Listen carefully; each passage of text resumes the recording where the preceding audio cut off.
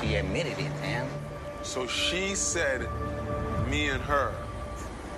You know you smashed. What did you do? Like, I didn't mean for it to happen. It's just, we be talking, hey, what's up? I want you to get on the song, and then. Why did you do that? Listen, I thought that you would deny it, deny it, and I could clear your name. But now that you admitted it, I don't think I wanted to know. Lyrica really didn't admit it, but I just needed to know for myself. A1 is like a brother to me, and I've never been the kind of person to lie to my homies, so I don't know what to do. I ain't trying to break up no happy home, and at the end of the day, A1's my, my boy too, still, you know, you know what I'm saying? Look, whatever happened with me and Lyrica, it... It shouldn't have happened.